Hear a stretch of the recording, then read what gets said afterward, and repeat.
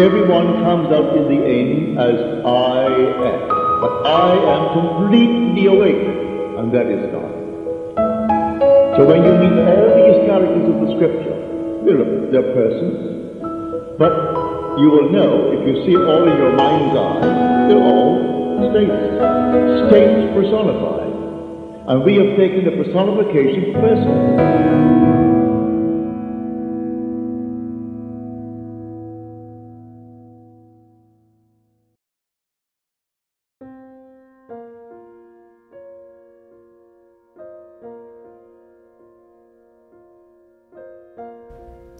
Tu dominio supremo.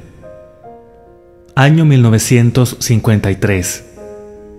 En el primer capítulo del libro de Génesis leemos, Y Dios hizo al hombre a su imagen, a imagen de Dios lo creó, hombre y mujer los creó. Dios los bendijo y les dijo, Sean fructíferos y multiplíquense, llenen la tierra y sométanla, ejerzan dominio sobre todos los peces del mar y todas las aves del cielo, y toda cosa que se mueve sobre la tierra. Y Dios vio todo lo que había hecho, y era muy bueno. Cuando tú y yo leemos la Biblia, sin saber que es una verdad psicológica y viéndola como un hecho histórico, no podemos entender la palabra. Pero cuando el hombre sabe que la Biblia es la mayor colección de verdades psicológicas y que nunca pretendió ser vista como historia o cosmología, entonces él tiene un vislumbre de este grandioso, maravilloso libro. El hombre mismo es la gran tierra psicológica que debe ser sometida. En el hombre se mueven todas las pasiones, todas las grandes emociones, simbolizadas como cosas y animales que se arrastran. En lo profundo del hombre viven en realidad los estados invisibles, simbolizados como peces. En lo profundo del hombre viven en realidad todas las infinitas ideas, simbolizadas como las aves del cielo. Es este hombre el que debe ser dominado, porque al dominarlo, entonces viene la promesa y tendrá dominio sobre este vasto territorio maravilloso que es el hombre. Si el hombre no sabe que él mismo es la tierra de la cual se habla, él piensa que debe salir al mundo y conquistarlo. Y entonces, cuando observa este maravilloso mundo a su alrededor, él cree ser tan pequeño. La Biblia también nos dice que se llama a sí mismo saltamontes. Él ve gigantes en la tierra, los gigantes de la industria, los gigantes de la economía, todos los gigantes a su alrededor y se siente cada vez más pequeño porque él realmente no sabe cómo dominar la tierra, que es él mismo. Cuando el hombre sepa, se dará cuenta de que el hombre, como individuo, es supremo dentro del círculo de su propia conciencia, ya que dentro del círculo de su conciencia, todo el drama de la vida se vuelve a representar una y otra vez. Él tiene que comenzar consigo mismo y luego verá que este maravilloso mundo exterior, este mundo visible, no es lo que él piensa que es, un lugar de exilio de Dios, sino que es la vestimenta viviente del Padre.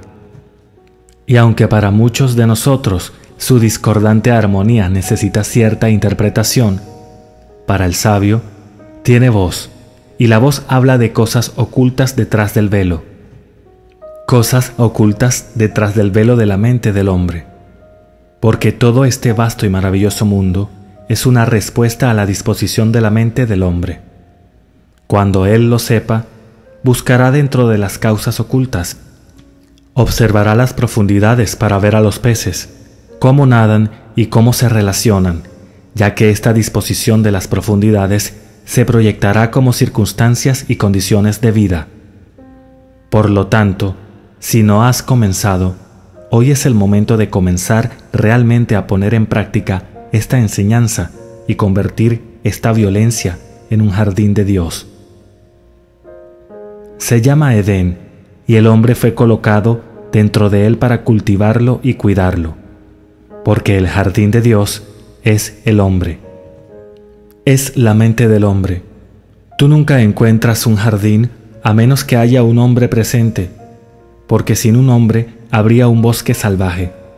Pero cuando un hombre es colocado en él, comienza a cortar los árboles o las malezas del pensamiento equivocado, despeja el suelo y lo cultiva, y luego planta sabiamente. Así, tú tendrás dominio, pues seleccionarás la semilla que plantarás, las ideas que mantendrás y las cultivarás. Sabiendo que el mundo exterior constantemente da testimonio de la disposición interna de la mente, Solo seleccionarás las cosas que deseas proyectar en la vestimenta viviente de tu Padre. Porque todo el vasto mundo que te rodea es una prenda viviente que usa tu Padre. Entonces, ¿cómo cosechó? Él dijo que hizo al hombre a su propia imagen.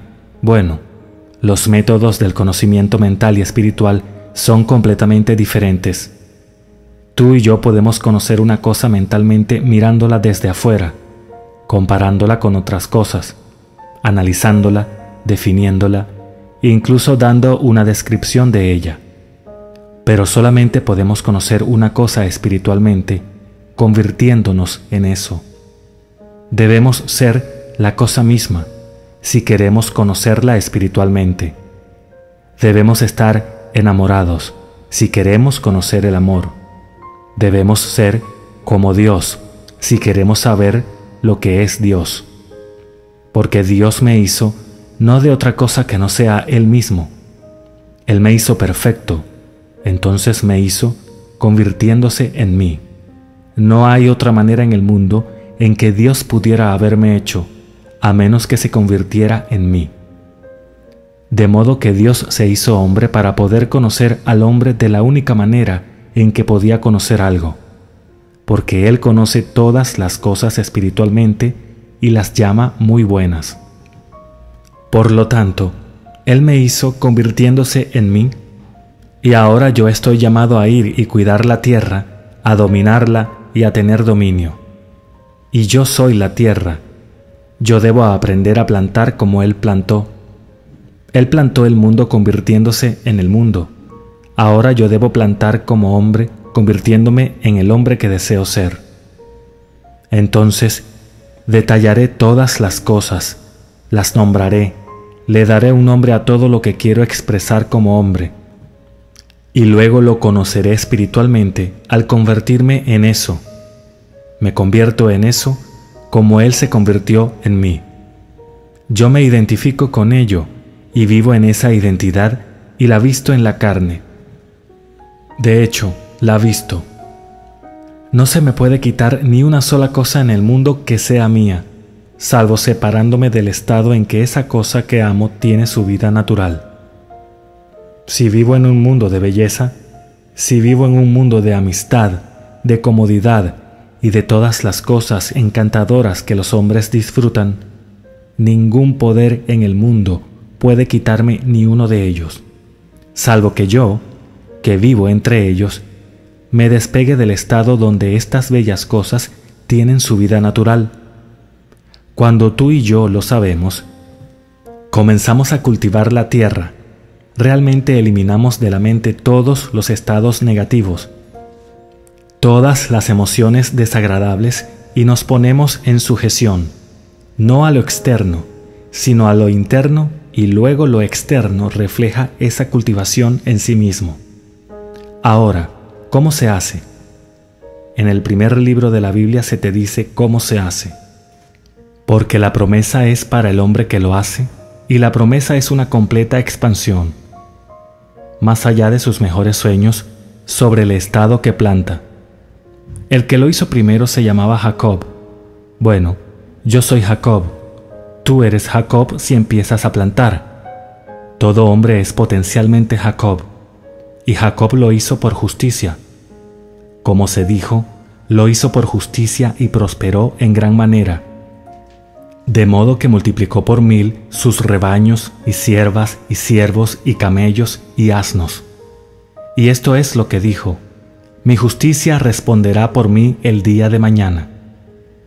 La justicia es la conciencia correcta. La única conciencia correcta es la conciencia de ya ser la persona que quieres ser, porque eso te vincula con un estado invisible. Aún no puedes verlo, pero te apegas al estado que te atreves a asumir que eres, y vas a pescar en las profundidades Ahora estás empezando a dominar las profundidades. Tú entras a un estado a través del sentimiento, al sentir que ya eres lo que quieres ser. Y así es como te vuelves sumamente grande en tu mundo, porque en tu mundo tú serás el Jacob expandiéndote. El siguiente que encontramos es Job. Aquí, en medio de todas las pruebas y tribulaciones de un hombre, Job dice, me aferré a mi justicia y no la soltaré. Mi corazón nunca me reprochará en el tiempo de mi vida. Él se aferrará a la justicia en medio de la tormenta, en medio de todos los problemas del mundo. Él asumirá que es libre y se aferrará a esa conciencia correcta, sabiendo que nunca en la eternidad su corazón podría juzgarlo con dureza. Luego se nos dice, los humildes de la tierra busquen la justicia, y es a los humildes de la tierra a quienes se les da la tierra. Como se nos dice, los mansos heredarán la tierra. Es posible que se te haya enseñado a creer que manso significaba el hombre golpeado, el que cae y se arrastra como saltamontes. No es así. La palabra manso, si se traduce, en realidad significa ser domesticado, como un animal salvaje es domesticado el hombre que domestica la mente, el hombre que domestica su ser, de modo que él pueda establecer cualquier tarea y hacer que ejecute esa tarea. Ese hombre es manso, y los mansos heredan la tierra. Los mansos siempre buscan la justicia.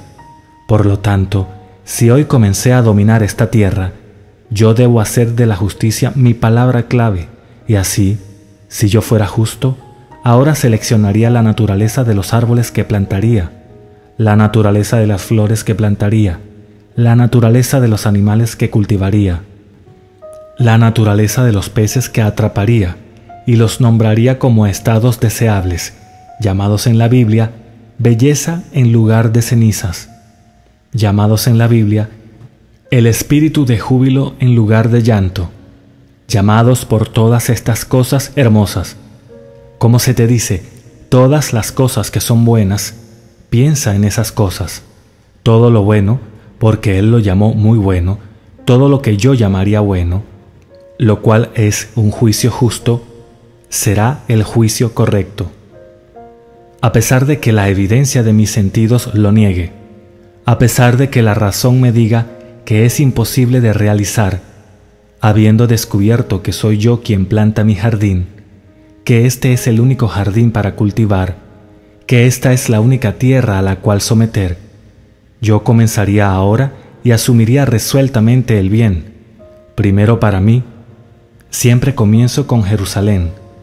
Luego iría al mundo y predicaría la bondad, conociendo la bondad. Cuando conozcas a alguien, independientemente de lo que la apariencia pueda revelar, conoce la verdad de ese individuo y libéralo. Conócelo como debería ser conocido primero por sí mismo. Pero si no lo has sabido como algo verdadero de sí mismo, al menos tú lo sabes por él. Y aunque nunca lo vuelvas a encontrar nuevamente en la carne, continúa sabiendo la verdad que libera al hombre, sabiendo que ya es libre, y entonces tú estarás cultivando tu jardín. Lo estarás sometiendo, lo estarás dominando y entonces tú tendrás dominio. Tú eres supremo en tu mundo. Si solo conoces el mundo en el que realmente estás, el hombre es la tierra psicológica en la cual tiene lugar este maravilloso torbellino de eventos. El hombre es la tierra psicológica sobre la cual se mueven todos los animales. Cada emoción es simbolizada como el animal.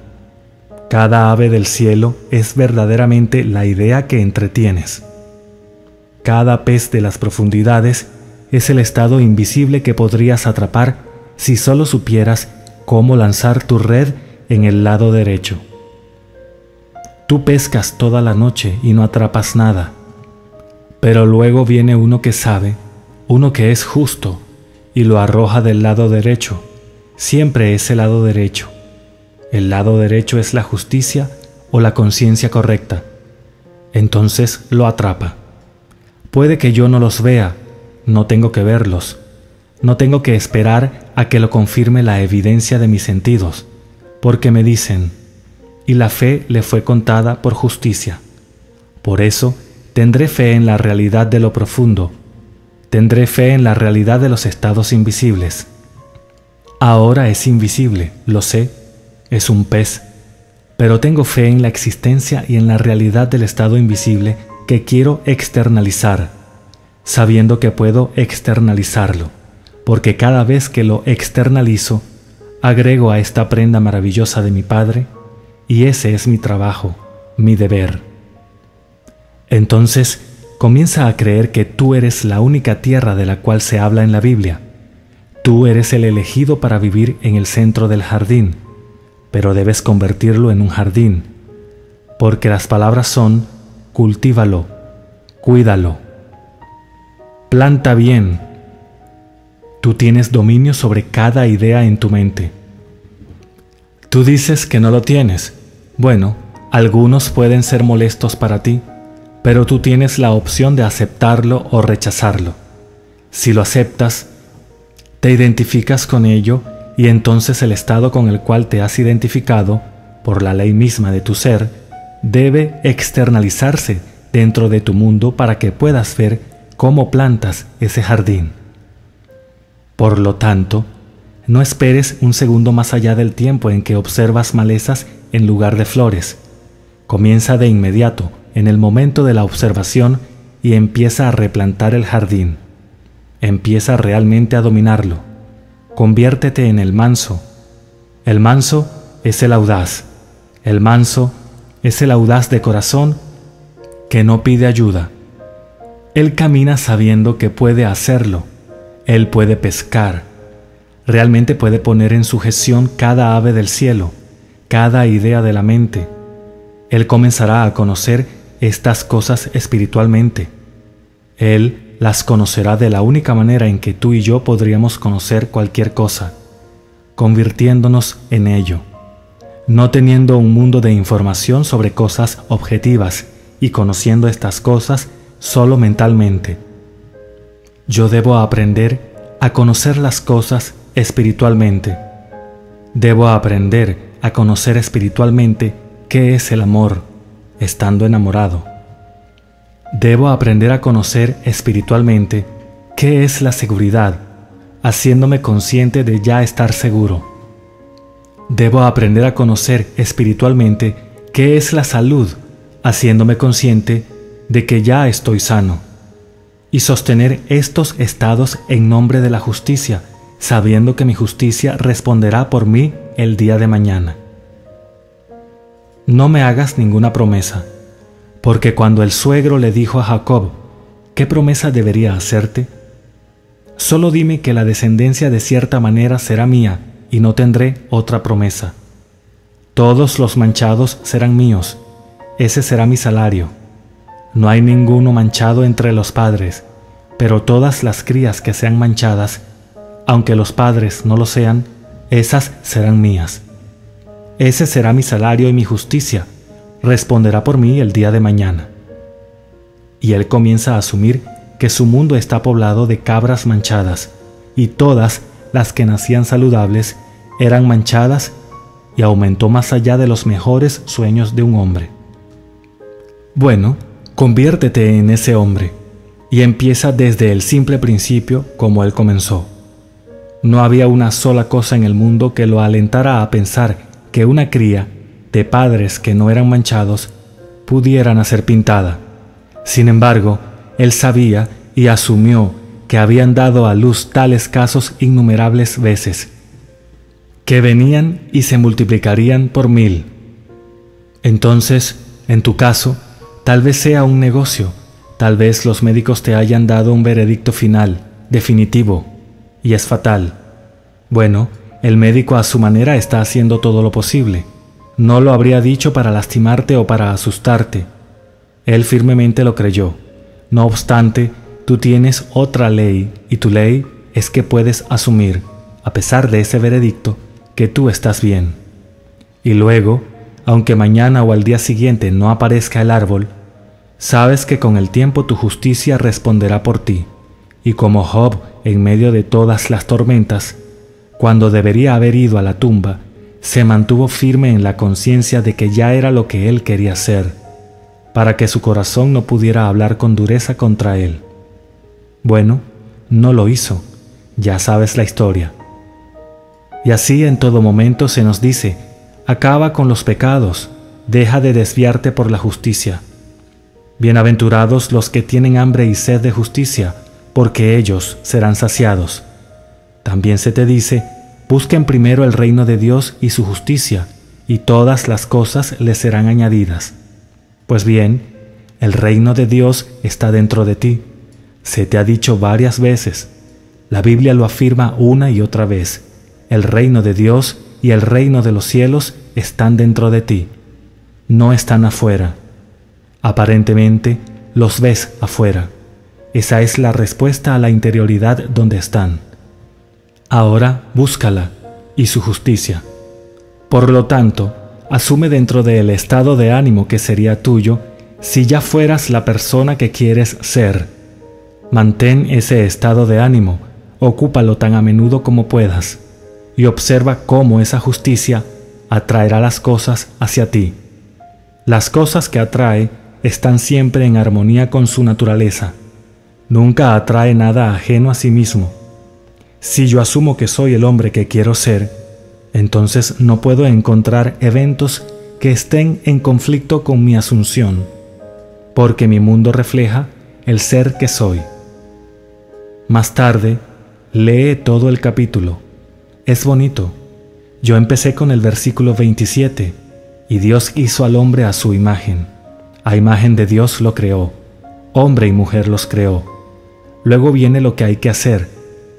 Después viene la promesa si lo haces y a continuación viene el juicio. Es bueno y muy bueno.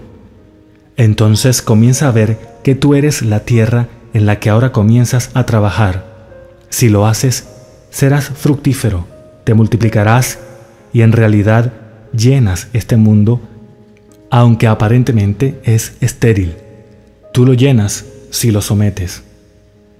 La tierra es el ser que debe ser sometido, no golpeándose a sí mismo como algunas personas lo han malentendido, no aislando al ser en algún pequeño lugar solitario, no huyendo de la vida, sino en medio de la vida se encuentra la oportunidad de volverse manso, tomar la violencia que es el hombre, el hombre individual, y luego llevarlo al estado de los mansos, para trascender la violencia al no luchar contra las condiciones, ya que las condiciones solo pueden reflejar lo que está dentro de la persona que observa esa condición. Por lo tanto, no te enojes con ello, déjalo tal como está. Si las condiciones siguen siendo las mismas, es una señal segura de que no has sido fiel a la justicia. Si hubieras sido fiel a la conciencia de ya ser la persona que quieres ser, las condiciones tendrían que cambiar en armonía con esa justicia. Así que no te enojes, déjalo como está y comienza hoy a tomar esta maravillosa tierra, que es el taburete del Señor, que realmente es la mente del hombre, y comienza efectivamente a trabajar en ello.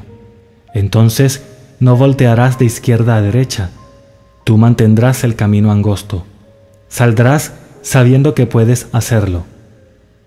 Yo sé por experiencia que no tardarás mucho en ver aparecer brotes, no tardarás mucho en ver aparecer las flores. Todo aparecerá. Si te tomas a ti mismo y mediante una observación acrítica, observas al ser que eres. Observa la condición de la tierra tal como es ahora, por la observación acrítica de tus reacciones a la vida. Cuando ves quién eres, eso te está mostrando el estado de la tierra tal como es ahora. No lo condenes, simplemente comienza a dominarlo sabiendo que tienes dominio sobre todos los peces del mar, las aves del cielo y todos los animales que se mueven sobre la tierra, sabiendo que esos son los estados de ánimo del pensamiento, los deseos, las pasiones que se mueven en ti. Comienza a entretener solo lo bueno y lo muy bueno. Medita sobre ellos y repoblarás tu tierra porque tú eres supremo dentro del círculo de tu propia conciencia. Ahora puedes decir que es una muy pequeña. Permíteme decirte que, aunque tengas un cuerpo y una vida propia, tú estás enraizado en mí y terminas en mí, como yo estoy enraizado en Dios y termino en Dios. Cada hombre puede decir lo mismo, sin importar si miras en un mundo de miles de millones de ellos y cada año pasan por las puertas hacia el estado invisible relativo a este mundo. Pero, así como van y vienen, cada hombre en el mundo está realmente enraizado en ti y termina en ti. Y tú estás enraizado en lo último que llamamos Dios, el Padre. Así que todo el vasto mundo está simplemente centrado en ti. Comienza ahora a reorganizarlo para que refleje la belleza que deseas vivir y vivirla en este mundo. Lo haces asumiendo lo mejor. Siempre imagina lo mejor de ti mismo. Siempre imagina primero con Jerusalén y luego sale e irradia lo que te has dado a ti mismo. Si vives en ese maravilloso estado, solo tendrás el bien para derramar sobre los demás, ya que tienes un regalo que es verdaderamente tuyo para dar y que eres tú mismo no tienes otro regalo. Si eres bueno, solo puedes dar lo bueno. Si no lo eres, bueno lo que sea que eres, eso es lo que das. El tema es que cuando te observas a ti mismo, observando tus reacciones, puedes encontrar que no es una tierra muy agradable, pero sigue siendo una tierra fértil. Se puede limpiar de todos esos árboles de pensamiento erróneo tradicional y ser replantada en armonía con la belleza que deseas y en el presente inmediato. Dará frutos en armonía con las semillas que plantes. Entonces, salgamos decididos a lograr una mejor disposición de nuestra mente para que podamos producir prendas más nobles para que use nuestro Padre. Porque este maravilloso universo visible y objetivo es sólo la vestimenta viviente de mi Padre no es un lugar de exilio como muchos creen. Hablan de su hogar y de su regreso a casa como si no estuvieran ahora en medio de su Padre. Cuando me ves, ves a mi Padre. Cada vez que me ves, ves el estado de mi mente, porque verás el mundo en el que vivo, y el estado de mi mente, ese arreglo interno, ese es mi Padre. Cuando me ves proyectado, entonces lo llamas el Hijo. Mi mundo a mi alrededor me dice dónde estoy. Todos estos estados internos son lugares en esta fabulosa conciencia psicológica. El estado interno es igual al lugar y donde estoy en mi interior. Determina lo que veo cuando miro fuera del ser. Entonces, cuando observo el mundo, esa área de la prenda de mi Padre, ya sea que esté destrozada a causa del lugar interno en el cual me encuentro, o si es una adorable, yo solo estoy viendo el arreglo interno de mí mismo. Siempre me estoy rodeando con la verdadera imagen de mí mismo, y lo que yo soy en la conciencia, solo eso puedo ver. Sabiendo eso, déjame estar determinado hoy a buscar la justicia o la conciencia correcta para poder cosechar en el presente inmediato todas las hermosas cosas que deseo. En resumen, selecciona un noble objetivo en la vida, habiéndolo definido claramente como un estado deseable, el estado que te gustaría externalizar. Hazte a ti mismo esta pregunta muy simple. ¿Cuál sería el sentimiento si fuera verdad que ya encarno ese noble estado? En respuesta a tu pregunta vendrá un sentimiento. Asume ese sentimiento. ¿Tiene realidad fuera del momento presente? Su existencia se encuentra en completa independencia del presente hecho objetivo. Tiene estructura real. Tiene realidad en lo profundo de él. Vino esta respuesta a tu llamada cuando dijiste, ¿Cuál sería el sentimiento si fuera verdad? Y nombraste aquello que estabas pensando, si era seguridad, salud, cualquier estado. Ese pez provenía de las profundidades, fue localizado y tú tomaste el yo y lo colocaste en ese sentimiento. En realidad estabas parado sobre él, aunque es invisible. Ahora permanece en él. Si permaneces en ese estado, se te dice en la Biblia, en tres días serás escupido en tierra firme. Tres no significa tres días. Tres significa plenitud. Tres significa completo. Por lo tanto, si yo vivo dentro de ese pez durante tres días, hasta que todo parezca natural y parezca real, y tenga la intensidad sensorial de la realidad, entonces yo seré expulsado como algo objetivo y algo que comúnmente se llama en la Biblia tierra o tierra seca. Tiene realidad, como tú la sientes, solo que la gente se aleja de ella porque no tiene un hecho objetivo inmediato que lo confirme. Pero lo montas durante tus tres días y sabrás lo que es entrar en ese pez y permanecer en él hasta que se alcance la plenitud, hasta que la realidad se alcance dentro. En ese estado, tú fuiste justo y tu justicia hablará por ti en el futuro. No te fallará, no te puede fallar.